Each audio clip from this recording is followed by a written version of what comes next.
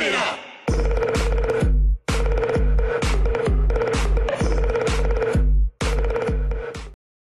دوستو، ویسے تو کمپیوٹر ٹیکنالوجی انسانی ذہن سے بھی زیادہ تیز مانی جاتی ہے، لیکن پھر بھی ہر کوئی یہ تسلیم کرتا ہے کہ اس میں غلطیوں کی گنجائش موجود ہے کمپیوٹر اور جدید ٹیکنالوجی کو زیادہ سے زیادہ قابل بھروسہ اور انسان کی طرح کم غلطیوں کے اہل بنانے کے لیے گزشتہ کئی سالوں سے آرٹیفیشل انٹیلیجنس اے آئی یعنی مصنوعی کمپیوٹرائز دہانت کا بھی استعمال کیا جا رہا ہے، تاہم اب کمپیوٹرز کے لیے چپ تیار کرنے والی دنیا کی معروف امریکی کمپنی انٹل نے ایک ایسی چپ متعارف کرا دی ہے جس سے متعلق کمپنی کا دعویٰ ہے کہ وہ انسانی ذہن کی طرح کام کرتی ہے۔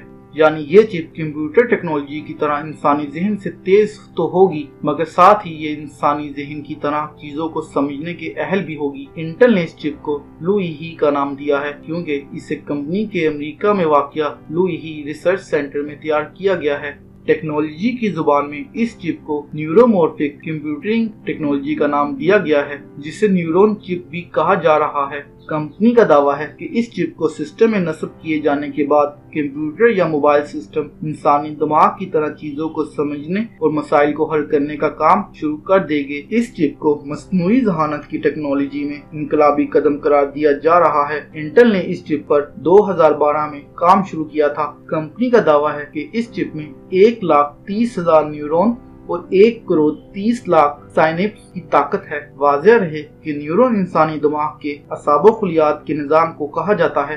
خیال کیا جاتا ہے کہ انسانی دماغ میں اسی ارب سے بھی زائد نیورون پائے جاتے ہیں۔